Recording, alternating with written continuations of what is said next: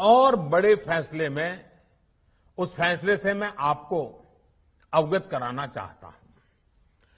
पिछले वर्ष, जब कोरोना के कारण लॉकडाउन लगाना पड़ा था तो प्रधानमंत्री गरीब कल्याण अन्न योजना के तहत आठ महीने तक 80 करोड़ से अधिक देशवासियों को मुफ़्त राशन की व्यवस्था हमारे देश ने की थी। इस वर्ष भी दूसरी वेव के कारण मई और जून के लिए भी इस योजना का विस्तार किया गया था। आज सरकार ने फैसला लिया है कि प्रधानमंत्री गरीब कल्याण अन्न योजना को अब दीपावली तक आगे बढ़ाया जाएगा। महामारी के इस समय में सरकार गरीब की हर ज़रूरत के साथ उसका साथी बनकर खड़ी है। यानी नवंबर तक 80 करोड़ से अधिक देशवासियों को हर महीने तय मात्रा में मुफ़्त अनाज उपलब्ध होगा। इस प्रयास का मकसद यही है कि मेरे किसी भी गरीब भाई बहन को उसके परिवार को भूखा सोना ना पड़े। साथियों, देश में हो रहे इन प्रयासों के बीच कई क्षेत्रों से वैक्सीन को लेकर भ्रम और अफवाहों की जानकारी चिंता बढ़ाती है। ये चिंता भी मैं आपके सामने व्यक्त करना चाहता हूँ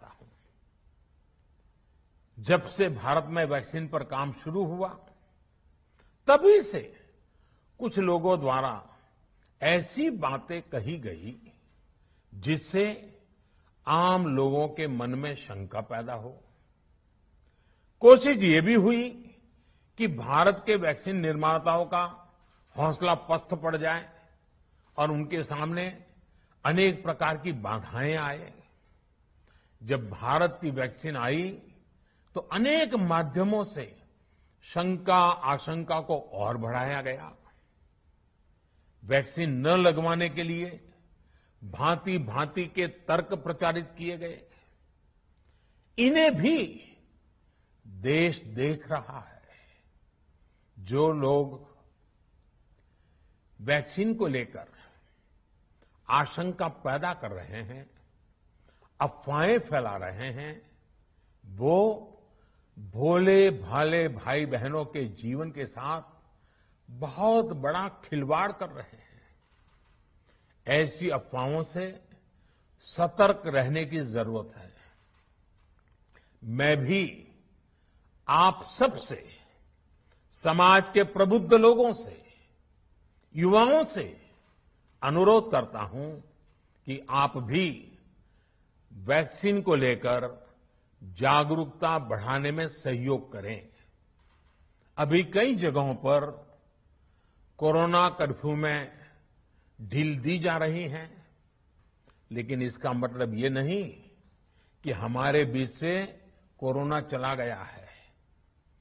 हमें सावधान भी रहना है और कोरोना से बचाव के नियमों का भी सख्ती से पालन करते रहना